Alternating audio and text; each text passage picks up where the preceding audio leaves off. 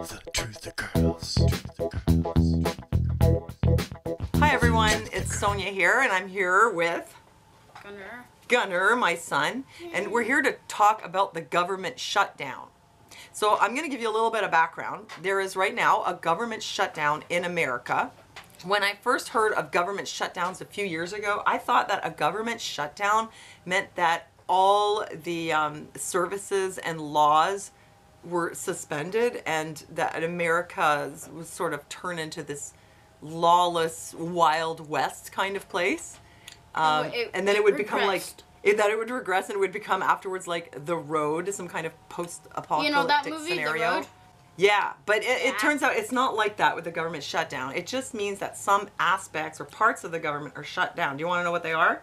I'll give you a few examples. Okay, the IRS, which deals with people's taxes, um, is mostly shut down, but they're still issuing tax refunds. Yay! Um, some aspects of the Department of Agriculture are shut down. Uh, some national parks are shut down. Oh yes, yes. Services to tribal areas, including healthcare and snow plowing, are shut down. Oh no. And the Smithsonian is also shut down. Oh. And there are some other ar- areas of government that are also not functioning, Oh dear. but those that are deemed to be essential services, which includes healthcare to veterans and the TSA, You gotta invade people's personal space, or else. What's the point of being in America if you're not gonna get watch your language, harassed? at the airport. Well, TSA is considered essential service, uh, so therefore they have to work without pay. The other areas that are not considered essential are furloughed, which means they're like on an unpaid leave right now. And this is affecting about 800,000 uh, federal employees in the US right now. So, why did this happen? According to Wikipedia, a government shutdown in America happens when the Congress is unable to pass sufficient appropriation bills or some other kind of legislation which allots funds that the federal government needs. So if the government says uh, we need money for XYZ and the Congress fails to We need give them money, then wait, they wait, wait. go into a shutdown. We need more money for creepy TSA agents. Well, yeah, it could be really anything, but if they can't agree, they go into the shutdown. So they went into shutdown on the 22nd of December, which means it's been like 20 days now. Now, in the past, there have been shutdowns, uh, but they usually last for like one or two days. There was one that lasted, I think, 25, 25. days in 1995, 96. Jinx. Now you And there was one in 2013 that lasted like two weeks. Usually it just comes and goes and people don't even really know. But what happens if it goes too long, all those people that are on furlough, they're not being paid. And Yeah. even the ones that are still working, they're not being paid. So it's turning out that a lot of Americans live paycheck to paycheck. Um, well, they're starting to have problems because they have no money coming in. Yeah. And also, what could be affected is food with the Women, Infants, and Children program and the SNAP program. If it ends within this month, it should be okay for next month's benefits. But if it continues into February, then these poor people who need the uh, food supplements are going to have their benefits interrupted. So, the reason the shutdown came about was that Trump asked for $5.7 billion to fund the southern border wall and basically the Democrats said no and are opposing him in a very inflexible way. Gunner said he had a dream about it. Yeah. He had a dream about what? Well, it wasn't a dream. It was more like a vision. I dreamed a dream that Trump would fail. He couldn't build the southern border wall. Not at all. I heard the Congress people say, We have no money for you, Orange Man. So the Democrats wouldn't give him the money, and Trump said, They're going to build a wall. I'm very sad and disappointed about what you have said. So, um, I'm going to shut down the government. Bing.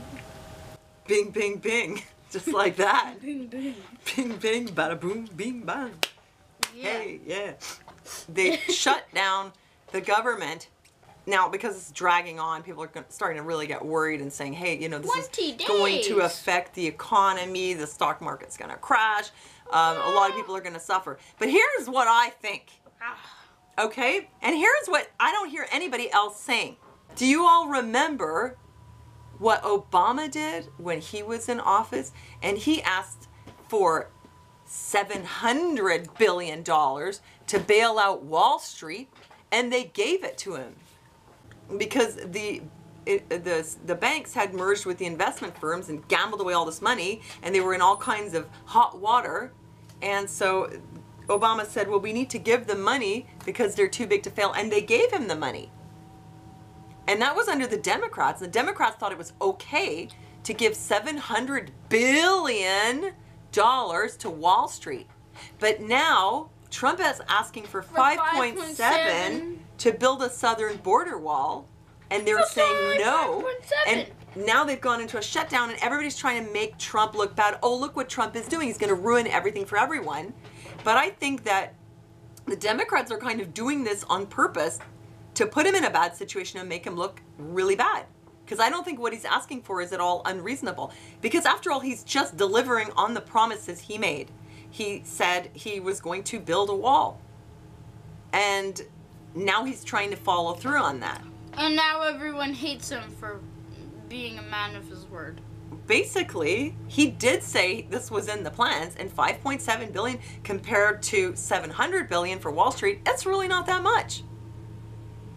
Now, I support America having a southern border wall, although I know it would not solve the problem of cartels bringing drugs in because they use tunnels.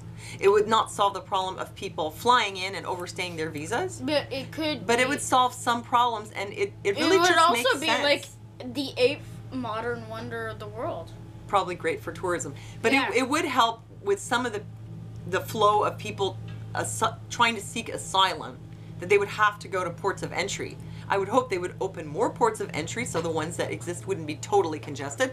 But in any case, I think that if Americans want a wall and Trump promised a wall, they should have a wall. Hmm. Gunnar had to get a pillow. We don't have a wall between Canada and America, but Americans don't want to come up here because it's really cold. Yeah. And Canadians don't really want to go to America because then we would lose our health care.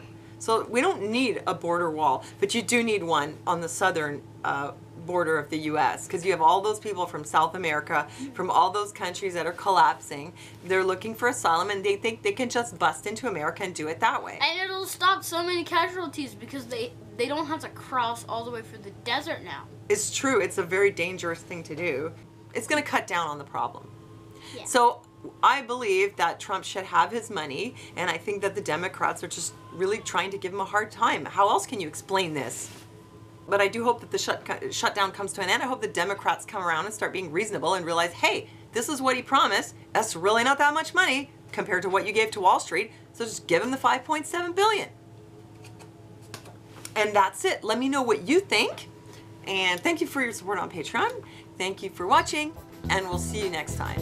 Bye.